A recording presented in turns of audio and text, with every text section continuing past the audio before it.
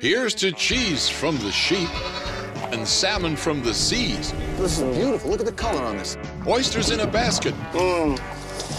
Man, that is good.